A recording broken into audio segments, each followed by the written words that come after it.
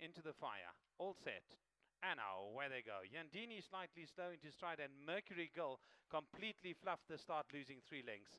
So it's down the middle of the course. Yandini showing lots of pace to join Parramatta on the far side. We've got Korea's Daughter together with Sunera Jean on the stand side running rail. We've got Into the Fire just ahead of stable companion Shawnee.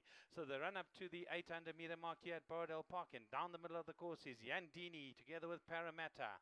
On the stand side rail, we've got Shawnee together with Into the Fire. Just behind that, we find the Grey Des Moines back on the far side. We've got Sunera Jean, Korea's daughter, and Mercury Girl with six to go. They rush up quickly now to the 600 meter mark, and Francois Herald's taken into the fire towards the stand side rail, leads by a length and a half from back in second. Shawnee back on the inside. We've got Parramatta coming forward with Sunera Jean on the far side, and Mercury Girl It's into the fire with a length and a half to spare over the field. She's tying up now as she starts her stride. Back on the inside there, we've got Shawnee towards the far side. Is Sunera Jean, and Shawnee's running on together with on the inside of that American Smooth and on the stand side Coco Luna. But it's now on the inside hitting the front is Sunera Jean. She comes up to pick up on the middle of the course is Mercury Girl together with Coco Luna. But Sunera Jean's going to win this. Back in second American Smooth. Third will go to Coco Luna and fourth to Mercury